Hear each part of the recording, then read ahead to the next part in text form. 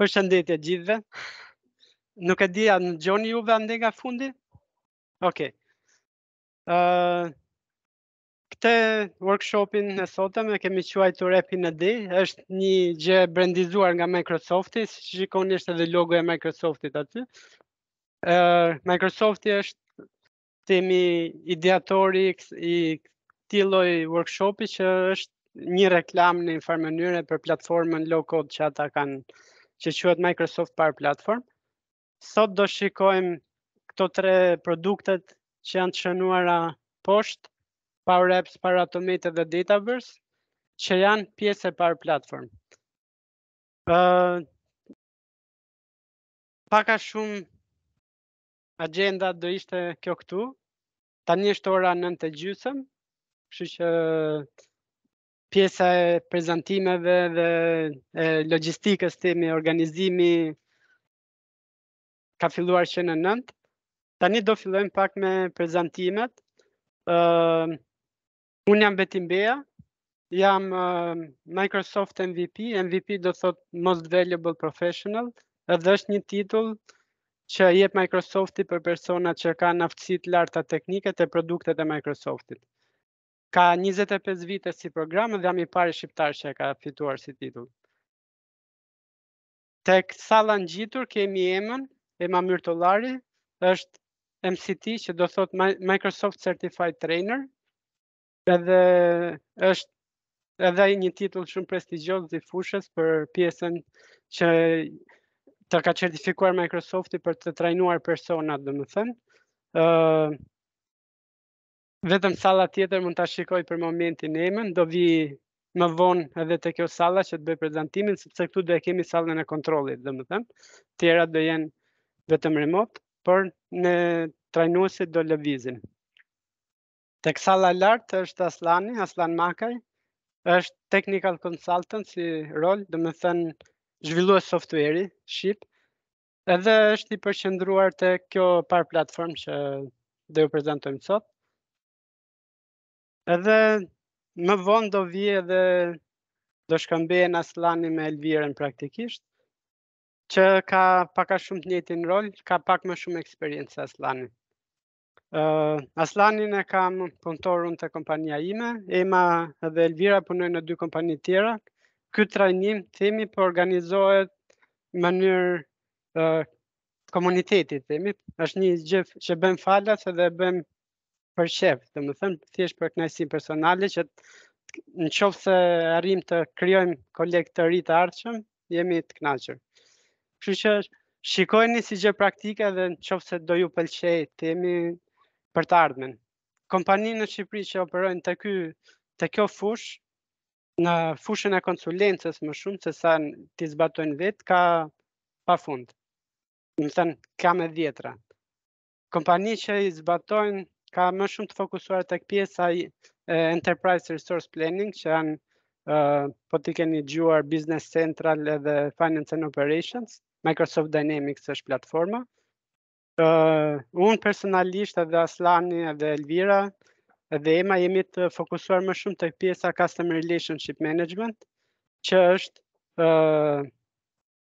marrëdhën, gjithë marrëdhëniet që ke me klientin, duke filluar që kur ai është dikush i panjohur edhe ti bën një reklamë për ta fituar si klient, uh, t'i bësh, menaxhosh procesin e shitjeve edhe të bësh analiza që çfarë uljesh themi mund t'i bësh për ta afruar akoma më shumë si klient, sepse e ke klient i shet një produkt edhe pastaj duke i bërë një ulje mund t'i shesësh akoma më shumë produktet e tua, gjë që duhet të menaxhuar sa më mirë ky procesi themi mbledhjes të dhënave edhe i paturit veglat e nevojshme për ta njohur sa më mirë klientin që të dish çfarë t'i shesësh edhe të rritësh fitimin tënd edhe kënaqësinë e klientit. që të gjitha palët të jenë të fituara domethënë. Ose mund ta bëni me copa letre dhe pastaj mbase e ke një klient, mbase nuk e ke. Kush futet gabimisht tek dyqani juaj, do e shisni, kush mbase dhe atë nuk ia shisni dot sepse nuk e keni informacionin për çfarë interesohet realisht. Këto veglat, domethënë, programimi ndihmon shumë te kjo pjesa që të standardizohen proceset edhe të keni mundësi t'i shisni gjërat. Neve normalisht jemi të fokusuar te pjesa e programimit edhe të ndihmojmë bizneset që të kenë mundësi ta përmirësojnë procesin e vet. Nuk jemi shitës, shitës që është rol tjetër themi me shumë vlerë, jemi ai që ndihmon shitësin ta bëjë punën e vet më mirë. Me ndihmën e veglave siç është platforma low-code e Microsoftit apo Salesforce që është alternativë themi e kësaj ka pa fund. Ë uh, është kjo piramida e eksperiencës temi që është pyetje zakonisht për pjesëmarrësit që çfarë eksperience kanë, mund të jenë me mund të jenë ekspertë temi që kanë njohuri që nga Dynamics CRM që është versioni i vjetër, mund të jenë ekspertë të pjesa e njohjes së teknologjive të Microsoftit. Normalisht është një trajnim i ofruar nga Microsofti si material, kështu që flet për produktet e Microsoftit. Përherë ka alternativa që janë jo Microsoft.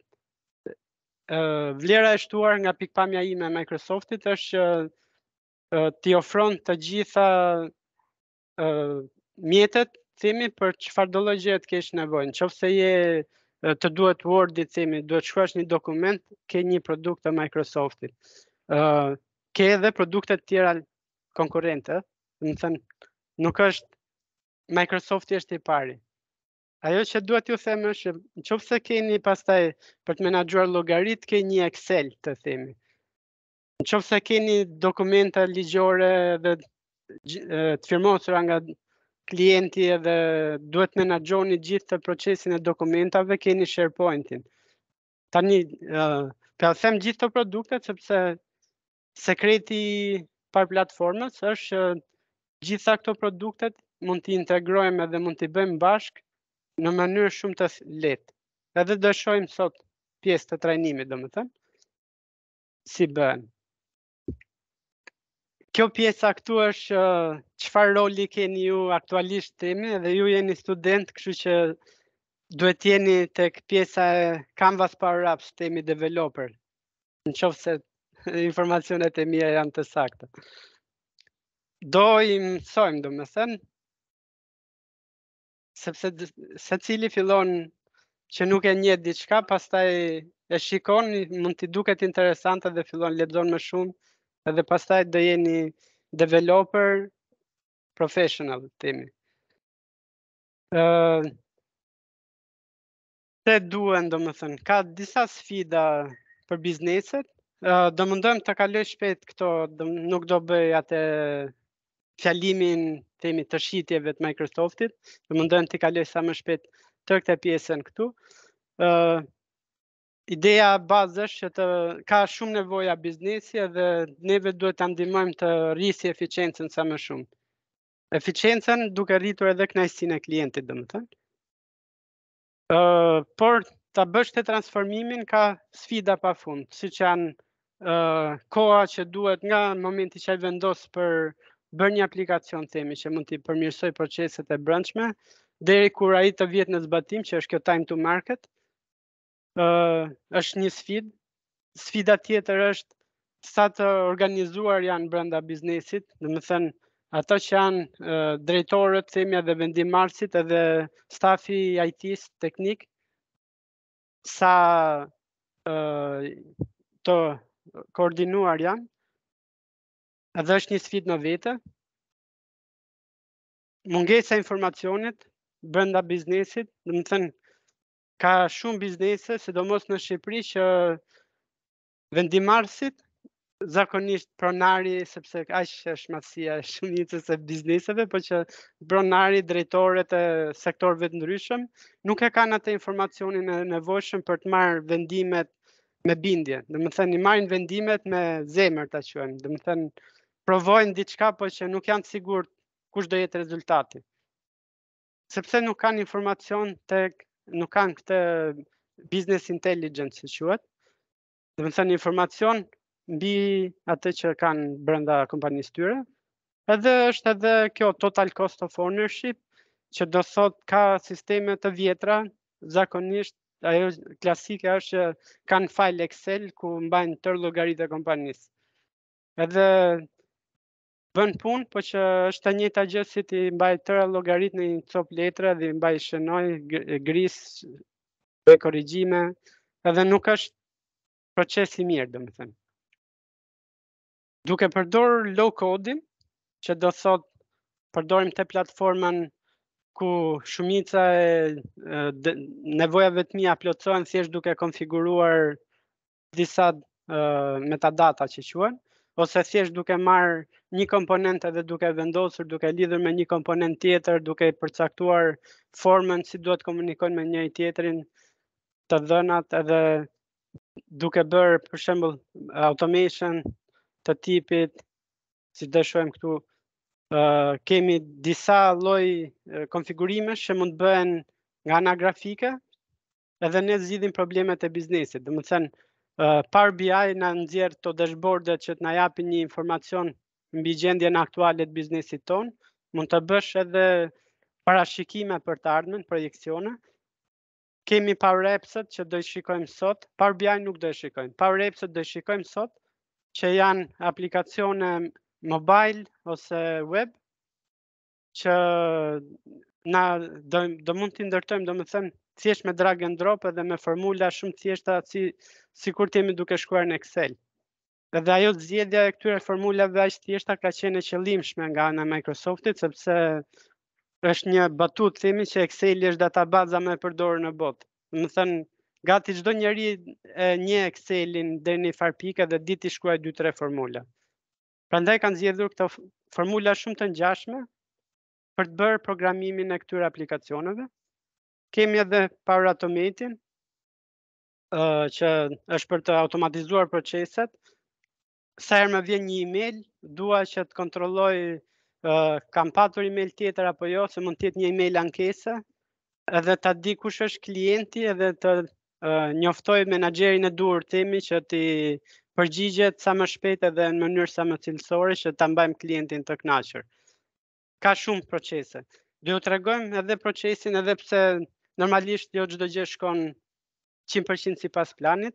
Procesin që kishim bërë për t'ju menaxhuar juve, domethënë edhe për të gjeneruar certifikatën e pjesëmarrjes, edhe emaili që ka kodin QR, prandaj thashë nuk jo çdo gjë shkon sipas planit sepse ai kodi juve nuk po ju shfaqet domethënë tek emaili, ngaqë e keni në Google me shumë mundësi dhe ka diçka që mund të kemi harruar për ta konfiguruar.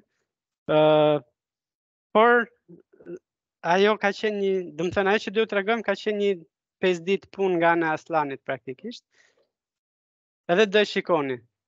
ë uh, Power Platform ka këto shtresa të themi, poshtë janë të dhënat, databaza që është dataverse uh, ose konektorat që mund të konsumosh të dhënat nga databaza nga më të ndryshmet ose nga web servise ose nga shumë uh, nuk është e thënë që t'i kesh tek databaza jote lokale këto të dhënat është edhe kjo AI Builder që është inteligjencë artificiale që konfigurohet relativisht kollaj me drag and drop. Edhe pastaj është kjo shtresa tjetër me produkte të themi siç janë Power BI për të bërë business intelligence, Power Apps për të ndërtuar aplikacionet, Power Automate për të automatizuar siç po thoja edhe do e shikojmë, Power Virtual Agents është për të bërë chatbote, Në qoftë se keni përdorur Tobin e Vodafone-it për shembull, nuk është i ndërtuar me Power Virtual Agents sepse ai ka shumë defekte të themi. Ai është i bërë in-house. Power Virtual Agents uh, ka, të themi, vlerën e shtuar të një produkti të Microsoft që është shumë i integruar me gjithë ato produktet e tjera. Në qoftë se dikush të themi uh, do vi Këtë di pëse po në gjithë. Okej, qoftë se dikush do vijë të flasë me chatbotin tën, tonë, edhe pastaj ai nuk ja zgjidh dot problemin, sepse nuk e kemi konfiguruar për atë lloj informacioni.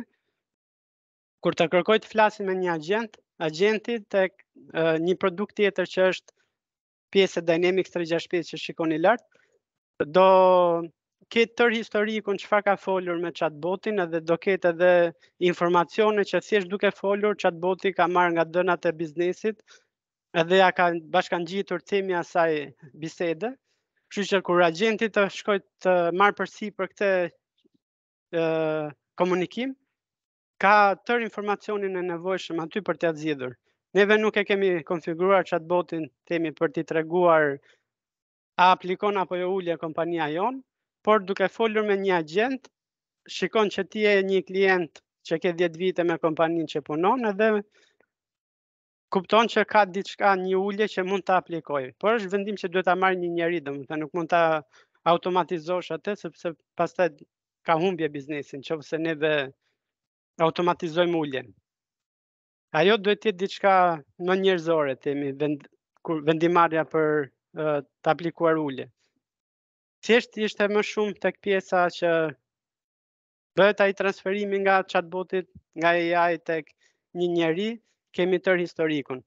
Edhe është një vlerë e shtuar themi që kanë gjithë produktet e Microsoftit. Edhe do shohim për shembull për të gjeneruar certifikatat e juaja, kemi thjesht shtypim një buton përdoret Power Automate-i që është një shërbim shtesë i uh, power apps që kemi përdorur për aplikacion për të mbajtur të dhënat e juaja në Dataverse Uh, komunikon me SharePoint-in, do marri uh, atë modelin e një certifikate nga SharePoint-i, do gjenerojë të gjitha certifikatat e tuaja, pastaj do ruajë po në SharePoint, themi, rezultatin me emrin e secilit prej jush.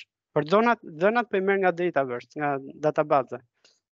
Kështu që janë lidhur shumë produkte me njëri-tjetrin, pa u marrë me pjesën teknike, domethënë, neve nuk kishim nevojë të shkruajmë një kod që të bëhet autentikimi i njërit produkt me tjetrin edhe të jemi të sigurt që personi që po bën kërkesën ka akses apo jo te ato të dhëna. Ato gjëra i bëjmë thjesht në mënyrë grafike, drag and drop, dua të bëj një connection, aprovo këtu, aprovo aty edhe mbaroi procesi. siç po thoja është ka no code që është thjesht drag and drop. Edhe gati gjithë këto produktet ofrojnë pjesë no code. Ë uh, ke low code që përveç drag and dropit do bësh edhe disa uh, formula themi që janë të Excel like, domethënë të ngjashme me Excelin. Gjuha quhet Power FX. Ë uh, e ka brendizuar themi Microsofti. Ka dhe një logo, po nuk e kemi vendosur këtu. Edhe është Code First që janë praktikisht ai që bën një zhvillues profesional themi që shkruan kod zakonisht është TypeScript ose C Sharp që janë gjuhë programimi të Microsoftit por nuk kemi të limituar në këto mund të përdorësh Node JS edhe të shkruash vetëm JavaScript edhe prap integrohesh për shembull një gjë që është e konfigurueshme kollaj është në qoftë se ne ndërtojmë një web API për në çfarë do lloj gjuhë, domethënë, thjesht të jetë një web API REST. Kemi atë definitionin me Swagger që është është një protokoll standard për të përshkruar web API-t. Power Platform mund të lidhet edhe të krijojë një connector që thjesht nga ana grafike i themi merre këtë përshkrimin nga Swaggeri edhe më ndërto një konektor që unë të konsumoj ato të dhënat e atij API. Edhe aq, unë nuk duhet di si funksionon web API nga ana teknike, si bëhet autentikimi, çfarë Swaggeri, thjesht e di që ka një Swagger i them lidhu aty të lutem edhe kam të dhënat. Qëllimi është që të bëjmë empower, domethënë të japim fuqinë kujtdo që të bëjë më shumë. Këtu thotë developer, por është për këdo realisht, edhe për njerëz që nuk konsiderohen zhvillues në termin klasik, që nuk dinë të shkruajnë kod, po dinë uh, kush është procesi biznesit që kanë nevojë, vijnë studentët në mëgjes bëjnë check-in edhe mbasdite bëjnë check-out, duhet bëjnë një raport të vogël që A e bëjnë gjithë check-in, check-outin apo jo, edhe ndërtoj një Power BI dashboard, marr drag and drop, këto janë të dhënat, i lidh me njëra tjetrën edhe aq është, nuk duhet shkruaj kod. Pastaj normal që kur kam nevojë për të bërë ajo është hapi i parë, domethënë, kur kam nevojë për ta sofistikuar akoma më shumë zgjidhjen time, ose do përmirësohem vetë dhe do filloj të mësoj pak kod dhe të mësoj pak më shumë nga ana teknike ose do kërkoj ndihmën e një zhvilluesi profesional. E mira është që mund të marrim uh, disa lloj njerëzish, domethënë këto që i quan Microsoft-i citizen developer që janë praktikisht njerëz punëtorë të një biznesi çfarëdo, që nuk janë zhvillues. Por thjesht me drag and drop mund të bëjnë këtë ndërtimin e sistemit. Ë uh, shumë shpejt. Kemi këto IT developers që janë më shumë me njohuri nga ana e infrastrukturës dhe professional developers që janë ato që e bëjnë si punë të paguar themi të përditshme kodimin. Gjithë këto mund të punojnë bashkë edhe shumë kollaj te kjo platforma që do e shikojmë e unë do eci sa më shpejt, domethënë. Nuk dua t'ju flas shumë për pjesën teorike. Uh, tani do hap një sekund, do hapim slide-in tjetër.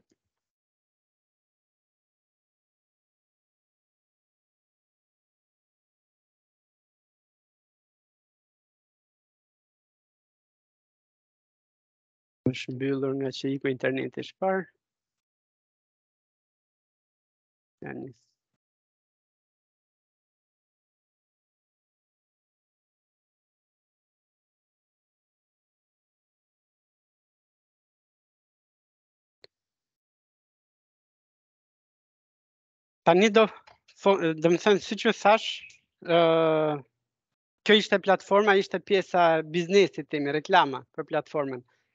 Do bëj pa, edhe pak reklamë për platformën, po do ecë akoma më shpejt. Domethënë, fokusi janë ato që quhen business applications. Edhe unë atë titullin uh, Microsoft MVP e kam marrë për këto business applications, domethënë për njohuri që kam për këto. Uh, ideja është të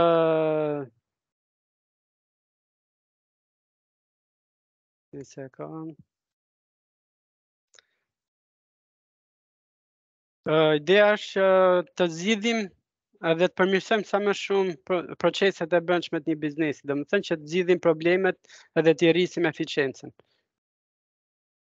Kjo është gjithë fokusi gjithë këtyre aplikacioneve dhe gjithë kësaj platforme që ne do shikojmë. Qëllimi është sepse ka kërkesë shumë të madhe për të patur aplikacione që të kenë mundësi të zgjidhin problemet, por nuk ka ofertë.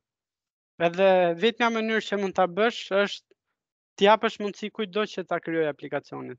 Po të presim me mënyrën klasike që vetëm një zhvillues profesionist mund ndërtojë një aplikacion, ajo ë hapësira themi ose mungesa e ofertës do rritet vazhdimisht. duke dhënë mundësi kujdo për ta ndërtuar, shpresohet që mund ta zvoglojmë sa më shumë këtë. Dje ishte nga Microsofti për shembull që kanë implementuar atë që quajnë Copilot.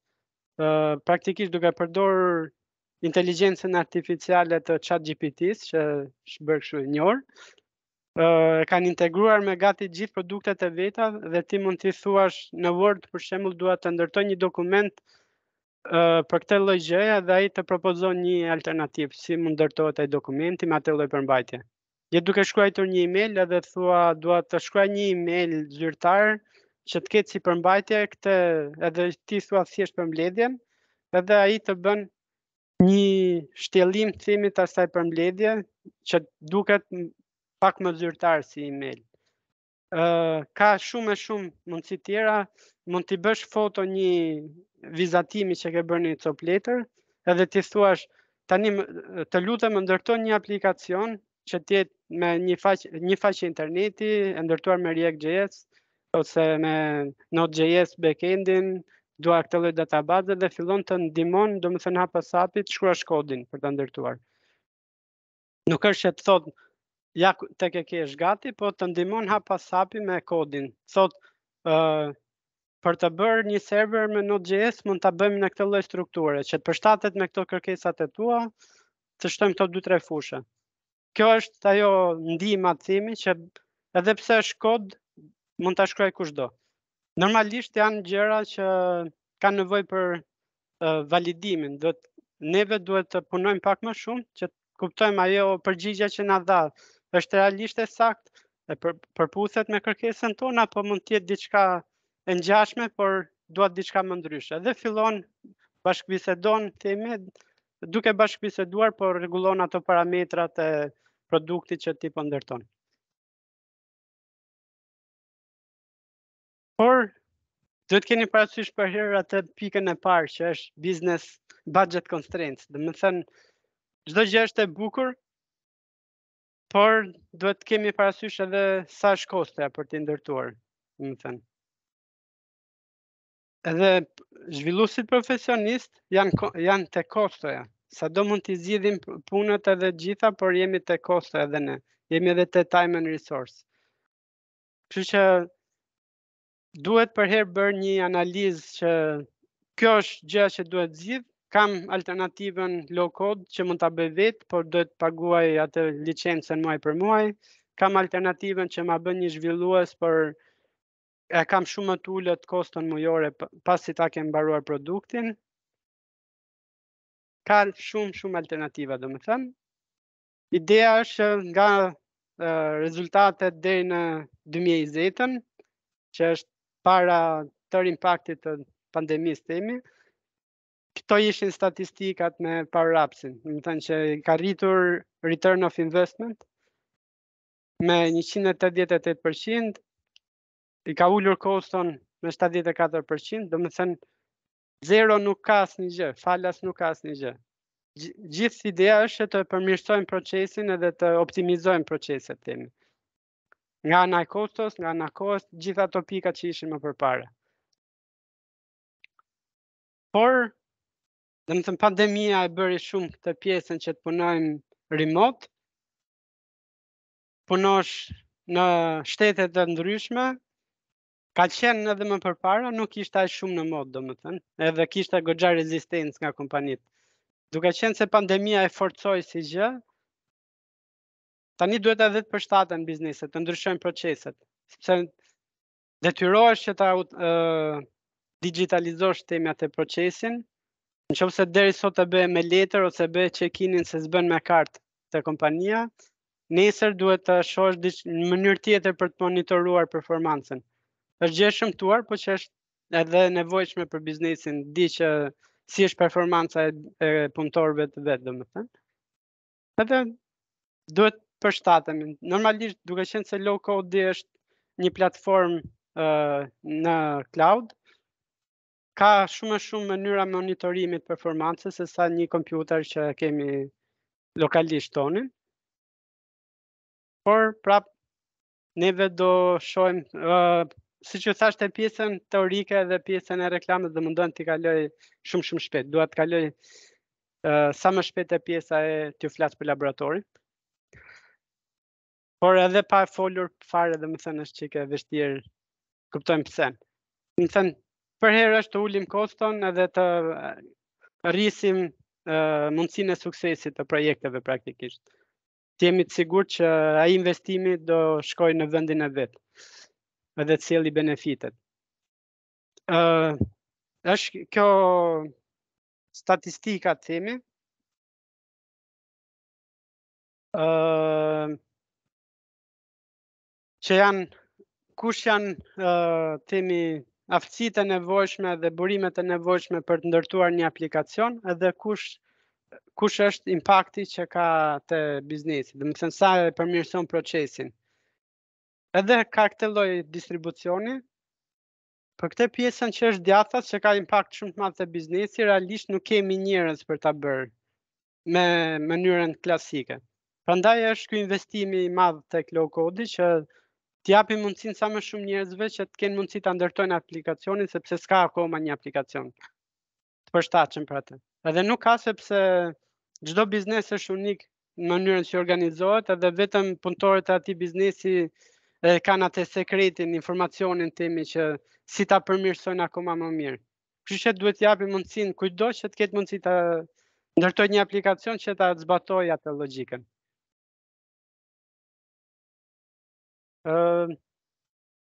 Edhe kjo bashkëpunimi, domethënë, është sekreti që ta arrijmë të gjithë kjo. Bashkëpunimin mund ta bëjmë vetëm me anë të low code-it që përshtatet shumë kollaj edhe me zhvilluesin profesional.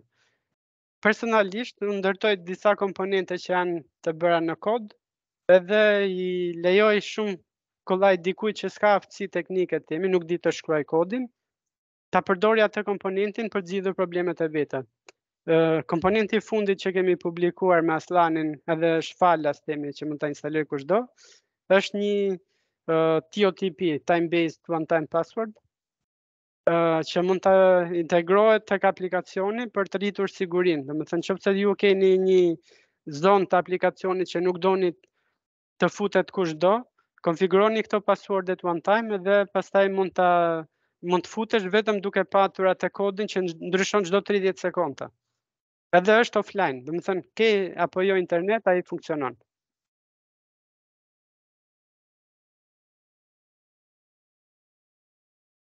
kjo është reklam. Edhe kjo tjetra të themi janë statistika që sa kompani për po e përdorin Power platformën ose Dynamics 365.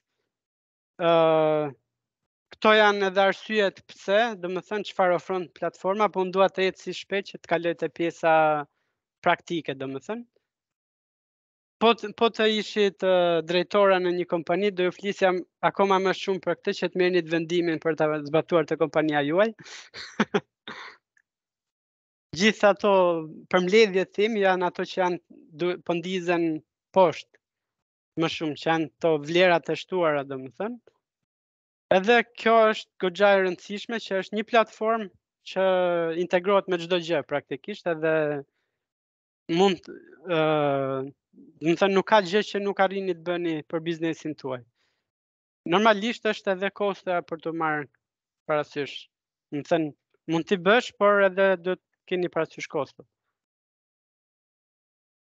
Ë uh, këto janë ato produktet që përdoren nga Power Apps në mënyrë shumë të lehtë. Aty thot për shembull ë uh, Innovative Integration, thot që mund të përdorësh 350 connector, realisht sot që po flasim janë më shumë se 900 connector. Domethënë ka më shumë se 900 API të ndryshme që i keni gati tek platforma, plus është edhe mundësia për të ndërtuar tënden shumë kollaj, siç e thash, mjafton të ketë një definition API në Swagger, edhe mund të integroni, krijoni një custom connector që quhen. Ka siç u thash pak për AI builderin ose për Power Virtual Agents, chatbotin, ka arti, inteligencë artificiale të thjeshtëzuar ta quajm nga ana e konfigurimit edhe përdorimit. Normalisht çdo gjë që nga këto shërbime janë shumë të lehta për t'u integruar, po kanë përherë pika për t'u zgjeruar akoma më shumë me kodin tuaj personal të themi. Domethënë, qoftë se ju nuk e bëni dot me low code, ka përherë diçka një alternativ që ju ndihmon ta bëni me kod nga një zhvillues. këto janë kompanitë të themi që po e përdorin në mënyrë të suksesshme Power Platformën edhe Gartner është ai që ka bërë analizën edhe Forrester po ashtu ka bërë. Janë dy nga këto kompanitë që bëjnë analizën për trendin e teknologjisë themi në botë amerikane.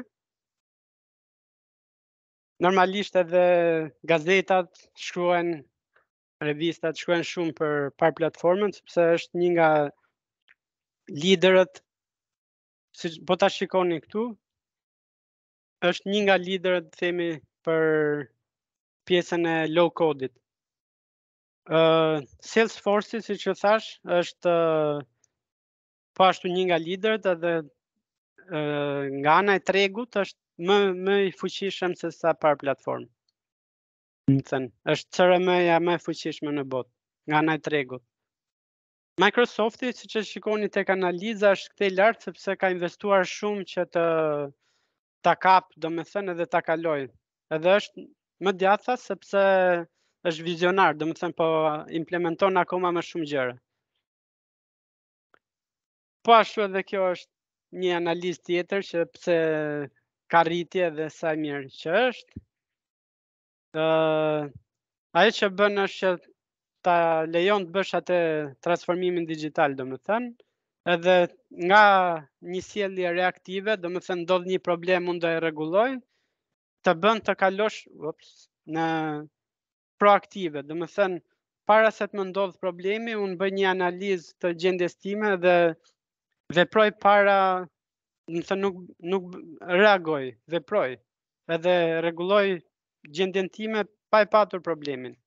Edhe në atë lloj mënyre mund të arrish uh, atë customer satisfaction. Është kjo pika e fundit customer never disrupted, themi. Po nuk hasi asnjë problem tek shërbimi që ofron, klienti është përherë i lumtur. Këto janë edhe një herë uh, ato uh, produktet që janë pjesë e platformës. Uh, Power BI, siç thashë, është për të bërë dashboard dhe për të bërë analizë të biznesit, domethënë business insights, ose business intelligence, që është emri i Power BI. Uh, mund të ndërtojmë ato dashboardet, unë do i kaloj shumë shpejt, sepse nuk dua të fokusohem te Power BI sot. këto janë gjërat e mira, domethënë, gjithë produktet kanë këtë what you see is what you get. Domethënë, konfigurimet bëhen tek editori dhe ju e shikoni direkt si do jetë produkti fundor, sepse për po i hidhni komponentët një nga një. Uh, Power Apps që do flasim sot edhe për Power Automate, uh, praktikisht përdor Dataverse si databazë është po një produkt tjetër është uh, nga aty ka lindur gjithçka nga Microsoft Dynamics CRM. Ëh uh, ky është një Power App, është një mobile app për shembull. Edhe mund uh, bëhet ju e ndërtoni me drag and drop edhe mund ta përdorni në çdo lloj platforme praktikisht. mund t'i ndani aplikacionet me kolegët sikur t'jeni duke ndarë një dokument, thjesht i thua share dhe mund ta përdori edhe kolegu. Integrohet, siç po e thoja, me shumë shërbime, janë 900 deri tani konektorat, mbi 900, që janë gati t'platformës, plus që ju mund ta integroni edhe me gjëra që i ndërtoni vetë. Prandaj është kjo extensibility. që mund ta një zhvillues profesional mund të ndërtojë vetë, përherë është kjo what you see is what you get, edhe uh, mund, mund të lidhet me gjithë këto shërbimet më të njohura në mënyrë shumë të lehtë, mund të përdorësh hartën, mund të përdorësh Adobe-in, themi për të bërë uh, për të firmosur në mënyrë digjitale një dokument ka shumë shumë shërbime, mund të lidhesh me sistemet e juaja që mund t'i ketë biznesi on premises, që do thotë i ka te data center i vet, nuk i ka në cloud. Me të gjitha këto lloj mënyra që janë të konfigurueshme. Dataverse do flasim pak është databaza Goxha më e avancuar është relation relational database siç është SQL, por ka shumë më shumë shërbime sipër që është diçka më shumë, edhe është në cloud. Ka dhe version që mund të jetë uh, on-premise, domethënë i instaluar te kompjuteri juaj, por uh, investimi është përherë te këto që janë në cloud. Sepse mund ta përmirësojë Microsofti në vazhdimësi të themi produktin edhe ju i merrni ato benefitet. Nuk do thoja falas, sepse janë si pjesë e licencës që paguani muaj për muaj. Power Automate-i është për të automatizuar themi proceset, ka disa lloj procesesh që përmbledh Power Automate-i, kemi këto që janë cloud flows që praktikisht janë automatizime ose janë që neve mund të shtypim një buton edhe pastaj fillon procesi integro, integrohet me shërbime të ndryshme dhe bën një veprim që neve kemi nevojë, për shembull, kur unë të shtyp butonin gjenero certifikatat që kam bërë sot në mëngjes, gati, kam bërë ran një Cloudflow dhe ai ka marrë të dhënat nga databaza, cilët ishin studentët që janë regjistruar, ka bërë gati certifikatat praktikisht dhe i ka hedhur në SharePoint. Ka dhe schedule që mund t'i vesh me kohë, ose është kjo gjëja që quhet business process flow, ajo është diçka integruar te Dataverse te një pjesë që quhet model driven app, do i shikojmë edhe ato sot.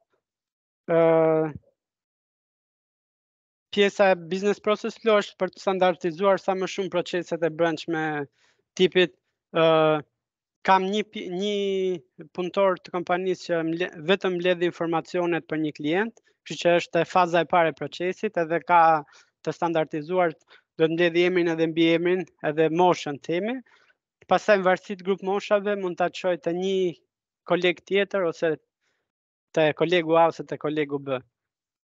Kur ia çon kolegut tjetër, kalon procesi në një fazë tjetër dhe kolegu A ose B themi që punon te grupmosha e vet, ka fazën e vet të procesit edhe mund t'i standardizojmë. Domethënë pak rëndësi ka qoftë se kolegu A është Betim Beja që jam unë apo është Asllani te salla tjetër lart, E rëndësishme është që neve kemi atë procesin e standardizuar, kështu që bëhet përherë me të njëjtën cilësi puna të themi. Edhe kemi edhe këto desktop flows që është quhet robotic process automation që shërben shumë për të automatizuar sjelljen e dikujt për edhe zakonisht është për aplikacione që janë të vjetra, legacy. Edhe nuk ofrojnë API për integrim, për shembull mund të kemi financën financën 5 që përdor gjysma e Shqipërisë, Nuk ka një API për të bërë nga një automatizim të themi nga Power Platforma për të bërë një rekord aty. Mund ta shtojmë me anë të desktop flow, sepse mund t'i them, mund ta konfigurojmë tipit uh, kliko butonin që quhet uh, klient i ri, tek fusha emri shkruaj emrin e kompanisë, tek fusha nipti shkruaj niptin, Sepse i ka marrë nga jashtë. Edhe për këtë nuk do flasim për desktop flow sepse është proces më vete, domethënë do zgjasë shumë. Për Power Automate-in do flasim për një automatizim shumë të thjeshtë, që është një approval flow, domethënë do krijojmë një aprovim.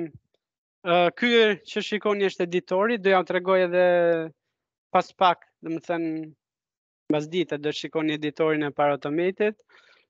Do kaloj pak më shpejt sepse arrij ta kuptoj edhe kohën që mund të jeni të lodhur pak. Ë do e bëm do do të ecë shumë shpejt. Domethënë edhe për Power Virtual Agents ju fola lehtësisht, ky është editori siç është vini re, domethënë çdo gjë është drag and drop. Po. Ai është. Do bëjmë do mundojmë të ecë shumë më shpejt edhe maksimumi 10 minuta. Edhe pastaj do bëjmë një pushim edhe të flasim për laboratorin pastaj që do filloni secili prej jush të bëni pjesën e laboratorit. Ëh uh, Kjo është çfarë shikon një agjent themi nga ana e botit, kur ka marrë chatboti që ka marrë informacionin, neve mund të vazhdojmë themi punën e atij chatbotit. Mund të shohim edhe ça përgjigjesh po u jep njerëzve dhe çdo gjë themi që mund, mendoni që duhet, çdo gjë është intuitive në këto platforma. Në qoftë se mendoni që duhet diçka, me shumë mundësi është pjesë e platformës. Uh, po e kaloj këto sepse nuk do flasim as për Power Virtual Agents, edhe gjithë sekreti është që çdo gjë është e integruar me njëra-tjetrën dhe them tjetër herë këtë pjesën. edhe ideja e low code-it është që ul shumë kostot e themi koston edhe kohën për ndërtuar aplikacionin, normalisht do rrisë koston e licencës për ta zbatuar në vazhdimësi.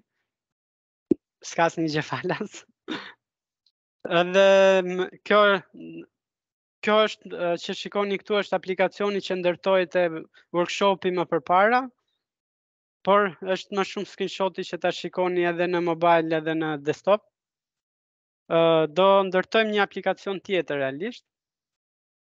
Ka shumë edhe një herë listë me klientë pafund që përdorin Power Platformën. Neve nuk jemi këtu, kështu që nuk është që jemi shumë të interesuar.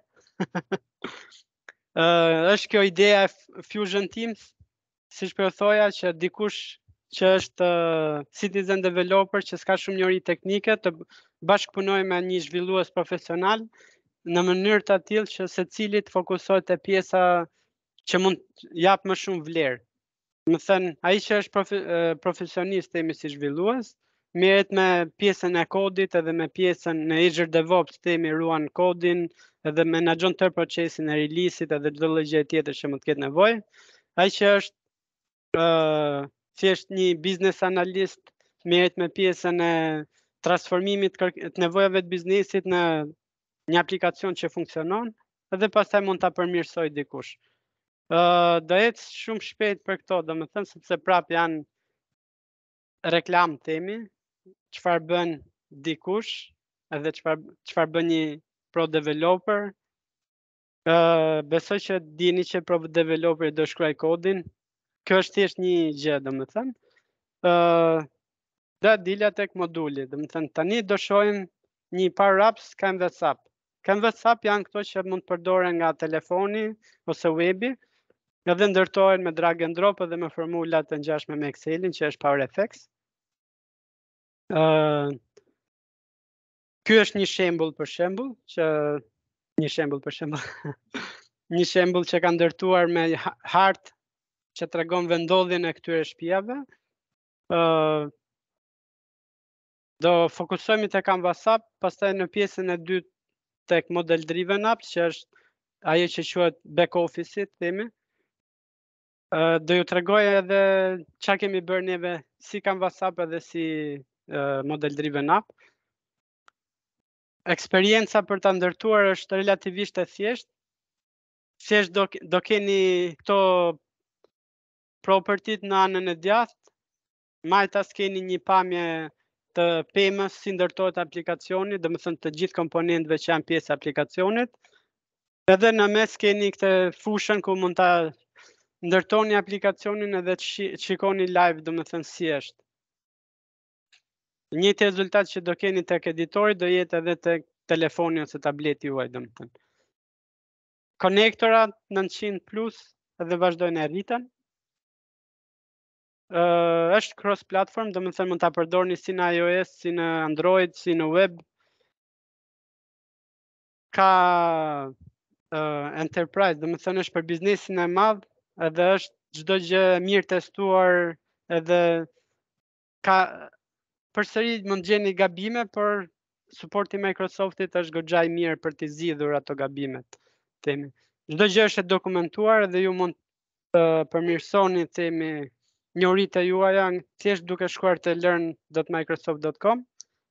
Edhe kanë dokumentuar praktikisht çdo gjë për platformën ose për kodimin ose për çdo gjë që është lidhje me teknologjitë e Microsoftit. Këto edhe mund të integrohen në një faqe interneti mund ta vesh si komponent një uh, Canvas app ose në një SharePoint site mund ta vesh një Canvas app edhe mira është që kanë një informacion të themi kush është përdoruesi edhe mund të përshtatet procesi shumë kollaj. Domethënë do jeni duke ndërtuar një aplikacion që është thjesht një hallkë e tërë sistemit. Por ju mund ta integroni në gjithë këto vendet e ndryshme.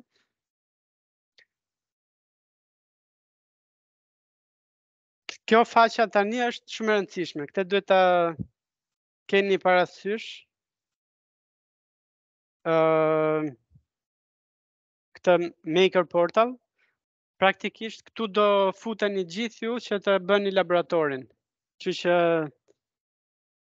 këtë me, me atë akauntin që ju kam dhënë themi kur jeni regjistruar, që është emri pikë mbiemri et polis pikë xrm pikë al,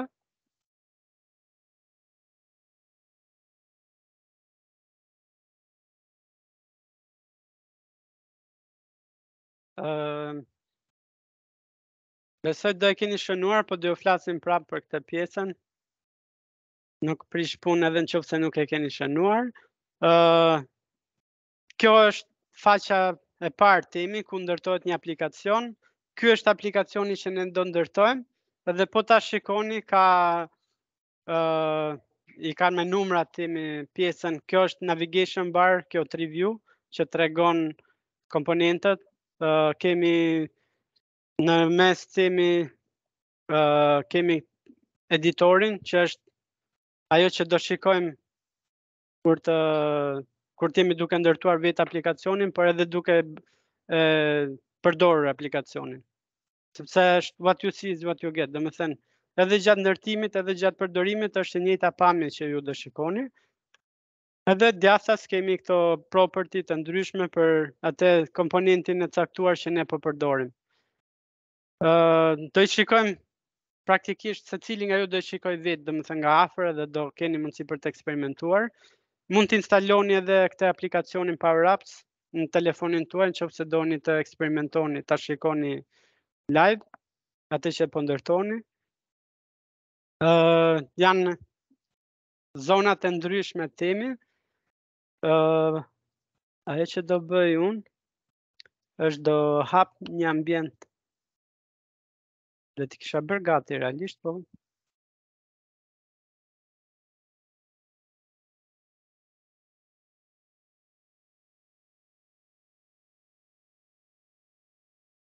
Tani ju gjithë, themi, mund të shikoni po hapet tani.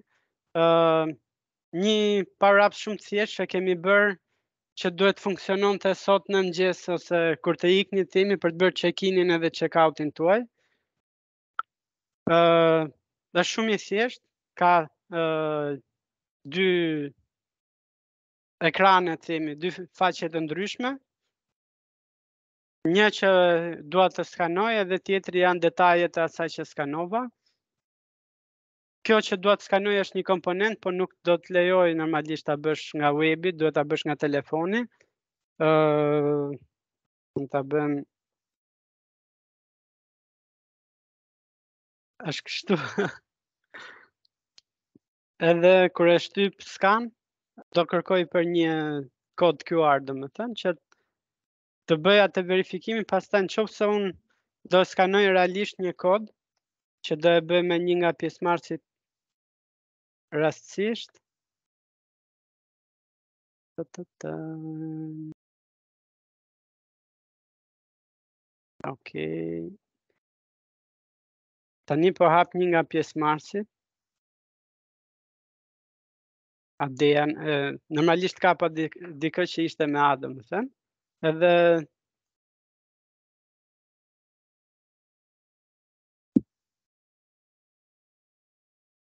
edhe kam të dhënat për t'i bërë check-inin,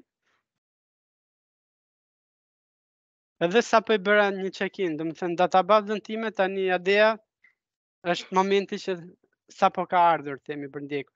Nuk e bëmë tamam, sepse kishin problemet me kodin që nuk u shfaqte tek emaili, por se kjo ishte ideja, domethënë, për ta bërë. Edhe siç e vutë re, kur bëra check-inin, më solli te kjo faqa tjetër, që mund t'i bëja konfirmoje që po merr pjesë. Verifikova të dhënat edhe thashë konfirmoje. një gjë të ngjashme, pak më të avancuar nga ana grafike, do bëjmë sot të gjithë bashkë, domethënë. Kështu që do e heq këtë dhe të kthehemi tek prezantimi. Ë uh, do i shikojmë të gjitha këto uh, materiali i trajnimit është goxha i detajuar që do tregojë për çdo gjë si t'i si t'i përdorni të themi. Kështu që do ec pak shpejt, ka komponentë shumë të ndryshëm, ka galeri të ndryshme, lista me komponentë. Kështu që do kalojmë tek laboratori. Neve thamë do menaxhojmë një proces që është porosi për makina kafe. Edhe ishte përshtatur të themi për pandeminë, se të gjithë do punonin nga shpia dhe janë mësuar të pinë kafe në orarin e punës ose pushimin, siç do bëjmë për punë një minute. Kështu që duhet të porosisin nga kompania makinën e kafes, neve do ndërtojmë atë aplikacionin si ta porositin, domethënë. Edhe do përdorim Power Apps-in për pjesën e aplikacionit grafik, Dataverse-in për databazën, do ndërtojmë një model driven app për menaxherin tonë që mund ta aprovojë apo jo atë lloj porosie të themi, edhe do përdorim Power Automate-in për ta lehtësuar këtë procesin e kur porosit dikush të njoftohet menaxheri dhe ai ta aprovojë.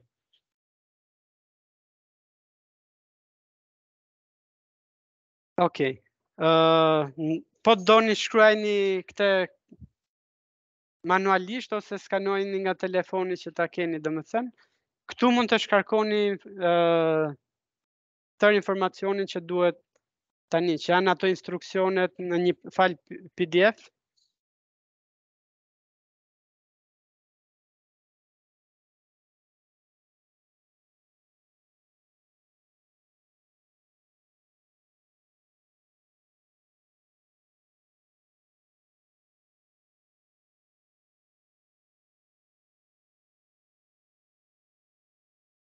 Tani nuk e di a e kanë skanuar nga sallat e tjera të themi,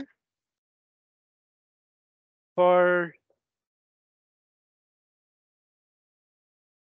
unë do e bëj kështu, do bëjmë uh, para se të fillojmë të flasim për detajet e laboratorit, të bëjmë një pushim të vogël 10 minuta të gjithë temi edhe pastaj do flas shkurtimisht për laboratorin edhe ju do filloni t'i bëni vetë këto gjëra.